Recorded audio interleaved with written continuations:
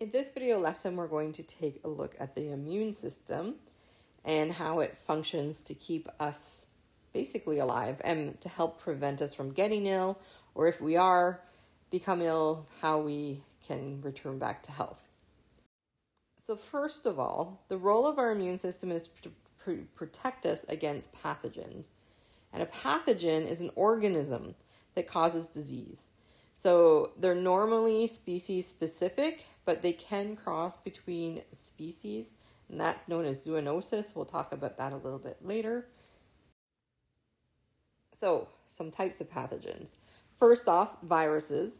Um, the flu, influenza, the cold virus, which is a rhinovirus, chickenpox, polio. Now we know COVID 19 being a virus. Um, all of these are viral pathogens. Then there's fungal pathogens like athlete's foot and toenail fungus. These ones are a little bit harder to treat because um, most of our like antibiotics and so on, they can't attack viruses. They can attack bacteria, but that's it. Fungal infections are eukaryotic, or fungi are eukaryotic.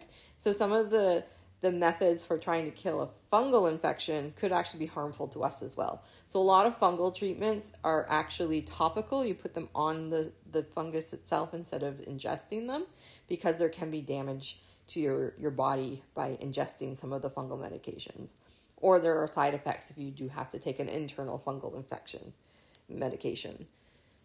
Bacterial infections like E. coli, tuberculosis, botulism, and tetanus they're all bacterial infections. Many of those can be treated with antibiotics, but as you learned last year, there is a rise of antibiotic resistant bacteria. We learned that in our evolution unit. Um, so that is concerning. So trying to find um, new antibiotics that are effective at killing bacterial infections is a common goal of um, scientists. Protozoa, so amoeba, malaria, are all protozoan um, driven pathogens. Flatworms, worms such as flukes and planaria can cause disease. Uh, roundworms such as threadworms can cause a condition known as elephantitis, where um, the pathogen would block your lymph nodes and then you'd build up lymph and get swellings in your body. So, airborne pathogens, those types of pathogens we breathe right into our lungs um, and there is a lot of debate right now about the transmission of COVID 19 because for the first you know year or more it was said to be droplet based. So basically m- maintaining a two meter distance and if you can't wear a mask would be the ways of protecting yourself. Um, but we're now realizing or some scientists have been saying all along that some of the droplets are so tiny that they remain suspended in the air and we actually could breathe them into our lungs even after the person that expelled those droplets has left the area. So that is why the recommendation for wearing N95 masks and having proper air filtration has become a big focus in keeping our schools safe and everyone safe waterborne pathogens. We drink contaminated water or other beverages, and it enters into your intestines and then gets into your bloodstream and makes you sick. Foodborne, you eat the food and it enters into your intestines and then makes you ill. Insect-borne, usually it could be a ba- virus, a bacteria, even a protozoan carried by an insect. The pathogen gets injected into your bloodstream through a bite or a sting. Direct contact would be contact with someone's skin or saliva. So you're you come in contact with the pathogen in some some way, either by sharing a drink or somebody touching a surface and then you touching the surface and then getting onto you. Sexually transmitted, so oral, anal, or vaginal sex transmits those types of pathogens. So our body actually has three lines of defense to fight off invaders. The first two are non-specific, so they don't even care um, what invader it is. It just senses that there's an invader or an attempted invader and kind of blocks it off. The third line of defense is specific. and that is our immune system. So, our first line of defense is made of our skin and our mucous membranes. So, the mucous membranes are the linings of your nose, your eyes, um, your airways, and so on. So, our skin secretions are acidic, and that goal is to ward off invaders. We also have enzymes in our tear, in our saliva. We have mucus, and we have sweat that kill bacteria and other invaders. Mucus will trap invaders in our airways, and then the cilia that line our airways help sweep the invaders out of our respiratory tract. And then we also have acids in our stomach. Remember the pH of our our stomach uh, our stomach is around pH of 2. So it kills off invaders that would get ingested. So sometimes you could eat contaminated food, but you still don't get sick because that first line of defense was successful. The second line of defense is when the first line of defense failed and an invader was successful in entering the body. And that line of defense is composed of your leukocytes or your white blood cells. And they engulf invaders and digest them and then often die in the process. So if you have if you know of when you have a pimple or an infected cut and you have pus, that pus is actually dead white blood cells that have you know, sacrifice their life in trying to keep you well. The third line of defense is much more specific and takes a much longer time to um, warrant its or mount its attack. So, all cells have markers on their membrane. The immune system recognizes your own cells mostly. Sometimes the autoimmune disorders, your immune system gets confused but the immune system recognizes the body cells and doesn't produce antibodies to fight those cells off. The markers on invading cells are recognized as antigens or antibody generators, and the immune system causes antibodies to be made against them. This takes many steps, however. I threw this diagram in from Kognity just to show you that there are lots of different immune cells. So macrophages are special white blood cells that go around and gobble up the invaders. Um, B cells, helper T cells, memory T cells, and cytotoxic T cells and plasma cells are all involved in your immune function. So, places where immune functions are involved in your bone marrow, your spleen, your lymph nodes, and your thymus. So, we have two different types of white blood cells called leukocytes. Phagocytes, or macrophages, ingest bacteria by the process of endocytosis. You can see that. They actually can extend their cytoplasm and engulf the invader and then digest it. Lymphocytes produce antibodies. So the first one, they're not very specific. The second one, more specific. So antibodies. They're proteins special proteins, and they're actually made of multiple proteins altogether. Um, they recognize and bind to specific antigens. And remember, antigens are foreign substances that stimulate the production of antibodies. So your, our immune system recognizes them as other and then start creating antibodies against them. Many of the molecules on the surfaces of viruses and bacteria are antigens. This is from our Kognity book. Um, of this is what an antibody would look like. One thing that you are required to do for your IB exam is to take a look at um, antigens and blood transfusion. So you're to re- read the passage and summarize the impact of receiving the wrong blood transfusion. In that section, you'll see this. So you don't want agglutination. That's when your blood cells clump together, and that's bad because you could develop clots and die. That's not good. And then these are all the different combinations. And you'll see if you receive type O blood, you're not going to have agglutination. So you're going to be okay.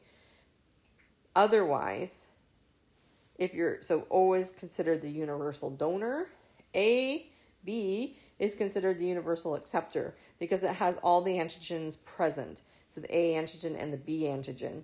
So basically, you can receive any type of of um, blood So if you're type AB, you don't make antibodies to A or B. If you're O, you make antibodies for everything. So you actually can only receive type O blood because you'll create agglutination if you receive any of the other types of blood. So, over the next little bit of time, we're going to talk about the production of antibodies. So, the first thing that happens is a macrophage will um, ingest a pathogen and then present its antigen onto its cell surface. And when that happens, it will activate a helper T cell. And then the helper T cell will present that antigen to a B cell and activate it. The B cell will make the antibodies, make a lot of clones of itself, and then produce plasma cells, which are the cells that produce a lot of antibodies. Or it'll some of those plasma cells will become memory cells, which will linger in our immune system in our bone marrow, be ready for that presentation of that same antigen again. So that it will be ready to fight off an infection if we were exposed to it again. So now we'll talk about the different steps. So step one, antigen presentation. So macrophages will take in the antigen by endocytosis. It'll present or process the antigen and attach it to a membrane protein called an MHC protein. That part isn't as necessary for you to remember. But the macrophage ingests and then presents the antigen on its surface. It will then send a signal to activate a helper T cell. So the helper T cell binds to the macrophage that's presenting the antigen and then gets signaled to be activated. Step three is when the B lymphocytes are activated. So B cells have antibodies in their cell surface membranes, and the antigens bind to the antibodies in the surface membranes of the B cells. So that activated helper T cell with the receptors for the same antigen bind to the B cell. And then the helper T cell sends a signal to the B cell, activating it. And then that activated B cell starts to divide by mitosis to form a clone of plasma cells. Plasma cells are activated B cells with a very extensive endoplasmic reticulum, rough endoplasmic reticulum, so it can build proteins because of the ribosomes and then transport them. So the plasma cells can build large quantities of antibodies, which they then excrete by exocytosis. And then your immune system is ready to send those antibodies everywhere to attack the invaders. Now, the secondary response are our memory cells. So, if an antigen invades your body a second time, a much faster response happens, which produces larger quantities of the required antibody. So when the activated B cells are dividing during that primary response, some of them stop dividing and stop secreting their antibodies, and they become memory cells. And large numbers of memory cells can remain in the body for a long time and are able to produce large amounts of antibodies very quickly when they're stimulated. This diagram from our Kognity textbook shows that primary and secondary response. So the first exposure to the antigen happens here at time zero.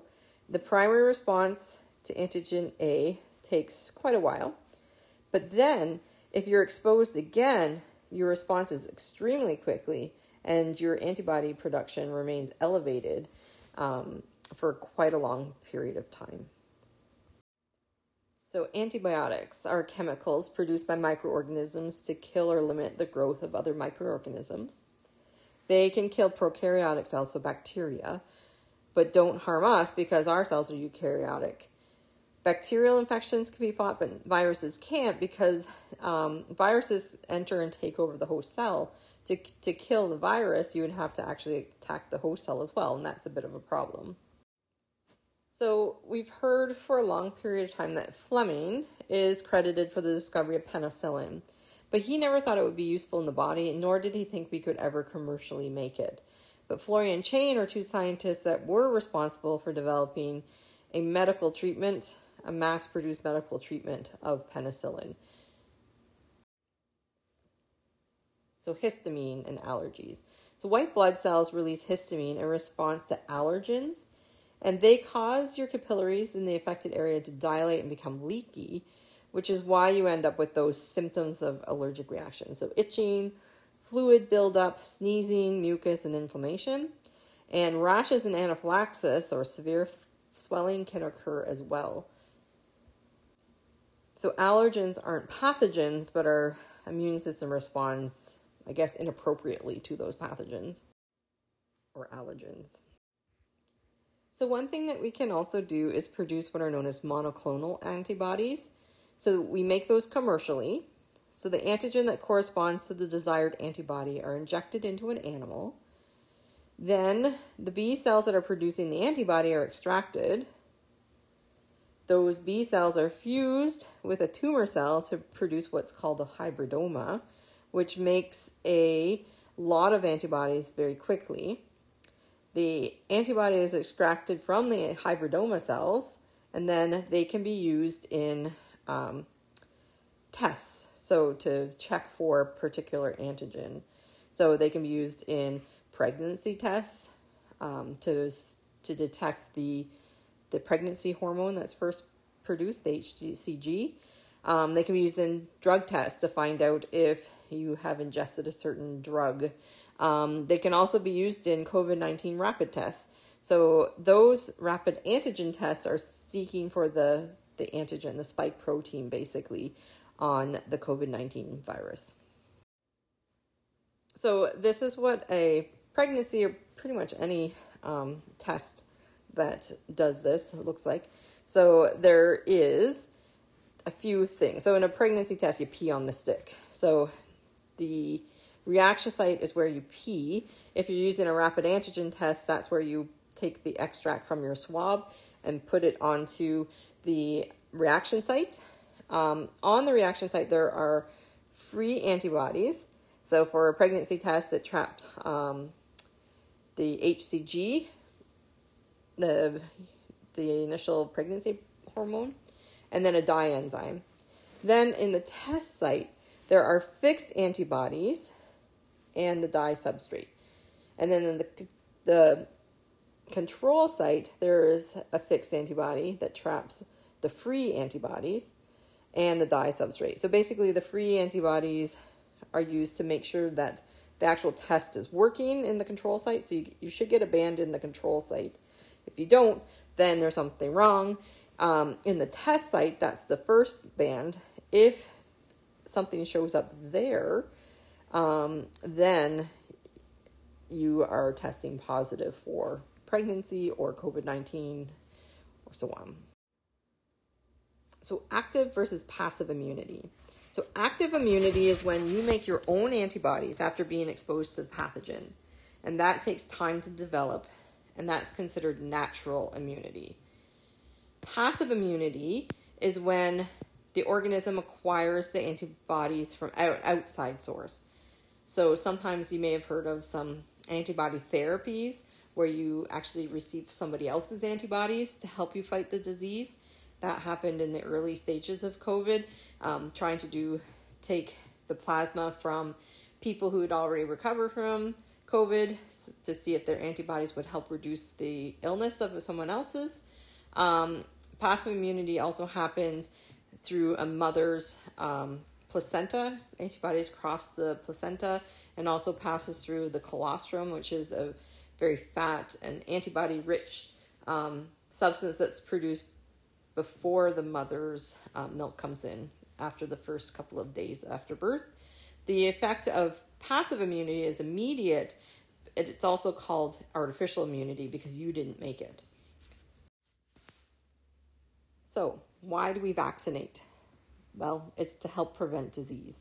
So, the very first vaccine that was produced was the one for smallpox. It's often been credited with um, Edward Jenner, but if you watch the untold story of the first vaccine from SciShow, you'll find out that that story is much muddier than uh, what Jenner. This, the, he's not as big a hero, and he's not the first person to create an inoculation against smallpox what vaccines do is they can expose someone to the dead or weakened pathogen, a related pathogen that doesn't cause illness, or other methods. And so when you're exposed to those pathogens or antigens, um, you'll produce memory cells against the pathogen. We usually only vaccinate against dangerous illnesses, so polio, measles, smallpox, and COVID 19. If the person is exposed to the real pathogen, they'll produce a quick response and most likely will not become ill. Doesn't mean that you're not exposed or infected by the pathogen, it's just your immune system will fight much more quickly because of those memory cells that you made from the vaccination. So, zoonoses are pathogens that can cross the species barrier. So some examples are Ebola. So that the origin was from monkeys or fruit bats. COVID 19, the origins were bats. Avian flu, H5N1 were birds. Swine flu, there's a typo there, H1N1, it's from pigs. These viruses mutate to allow human to human transmission as well, and that's where it gets concerning. So, animal to human transmission can happen rarely, and then if there's a mutation to cause further transmission from human to human, that's where things get really tricky. So, epidemiology takes a look at contact tracing. So, basically, to figure out if you've been exposed to a virus. Um, and that can be very hard to do because people are often infectious before they have symptoms. So, in the days of COVID, we learned about, you know, super spreader events where one person would show up somewhere, infect a whole bunch of people, then those people would go somewhere else, and before they knew that they were sick, they infected more people, and so on. So, um, this happened in sporting events, um, university areas, and so on. So, one virus that is um, in our syllabus is AIDS. So acquired immunodeficiency syndrome. It's not uh, it's the syndrome that's caused by a virus. So it's caused by HIV or the human immunodeficiency virus. The virus attacks your T lymphocytes. So eventually your body is unable to produce antibodies because the lymphocytes don't get activated, so they can't activate the B cells to make the antibodies. So over time, as the virus takes its toll on the T lymphocytes, the person will be unable to fight the simplest illnesses, which will ultimately lead to their death. So, HIV can't live long outside the body. It can't easily pass through the skin, so it can't be transmitted through touch, unlike what people thought at the beginning. Again, they didn't know how it was being transmitted. It has to be transmitted through bodily fluids from infected person to uninfected person. So, through unprotected sex, through sharing needles, through um, in the early stages before we knew about HIV, um, their blood products were um, caused transmission because we didn't screen for HIV. And we've actually been able to reduce the amount of transmission from an infected mother to her fetus as well through um, modern science. So, what happens if we damage one of our blood vessels? Well, we will form a semi solid clot from liquid blood. And why? Because we want to stop blood flow. Blood carries so many materials, and our blood pressure needs to be maintained. So, we also want to seal off an open vessel to prevent the entry of pathogens. So, there are three different processes that happen when a vessel becomes damaged there's vasoconstriction, the formation of a platelet plug, and the formation of a blood clot. So, the first step what are platelets? Remember, they're the cell fragments that circulate around the blood with red blood cells and white blood cells in the plasma. Step one vasoconstriction. This will help slow blood flow and help reduce blood loss. So, basically, the blood vessels that are affected will constrict, narrow, so not as much blood will travel through that vessel. So it'll prevent the loss of blood. The second step is that there will be a platelet plug formed. So when the vessel is damaged, collagen fibers will get exposed and platelets are attracted to the collagen. So they become activated and it makes more platelets want to aggregate at the site. So it'll form a plug. And then we will start making a clot. So, clotting factors will be released from either the damaged tissue cells or the platelets. The clotting factors set up a series of reactions where the product of the first reaction is the catalyst for the next, And this happens for two reasons. One, to make sure the clot only forms when you need one, and to enable a very rapid response. You don't need to know all of the steps because um, they're not necessary for you to know. However, you do need to know the last stage of the reaction. So, in the last stage, fibrinogen, which is a soluble plasma protein, gets converted to insoluble fibrin by the molecule thrombin. And this forms a mesh that will catch even more platelets. So you can see what's happened here. So there's your damaged blood vessel, there's clotting factors that have been released. Prothrombin activates thrombin, which activates fibrinogen, which then creates the insoluble fibrin. And then you end up with your blood clot. Now, there are times when blood clots are not a good thing, and that happens in coronary thrombosis.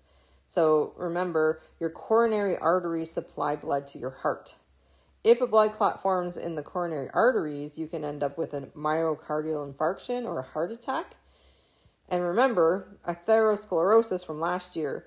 So, the walls of the arteries can become hardened, and arteries get blocked or occluded by cholesterol deposits. And these plaques can rupture and they can cause plaques to form. So if some of those blood vessels get damaged, those coronary arteries, that muscle in that area will die. And then your heart won't be able to function in the same degree.